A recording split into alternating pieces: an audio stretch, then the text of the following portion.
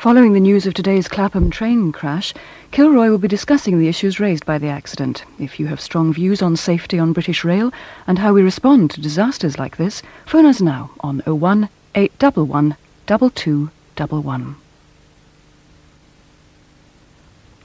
Over on BBC Two, the four o'clock news is followed by another round of the brain-teasing quiz, Catchword.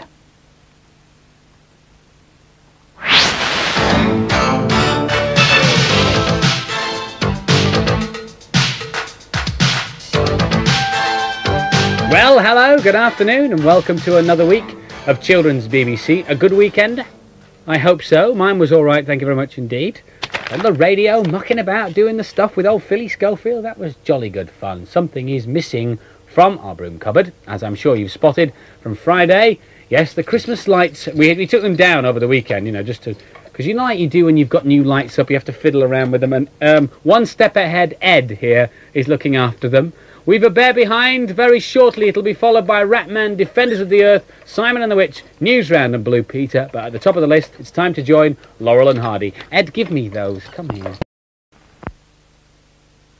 Bobby the Banana, just as well you're not missing it, but there's no plug on these. You shouldn't muck about with electrical lights if they've got a plug on them.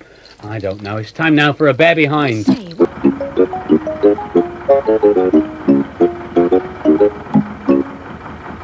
don't know quite what's going on behind me here. I think uh, Bobby and Edd are attempting to put up the Christmas light.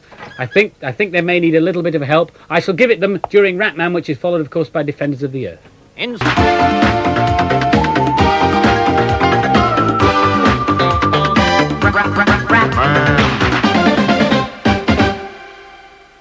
In Blue Peter this afternoon at five past five, you can find out how this goes about being put together. That, of course, is this week's copy of Radio Times. As for, as for that, the Simon and the Witch and News Round, and they are all after this. Defenders of the Earth.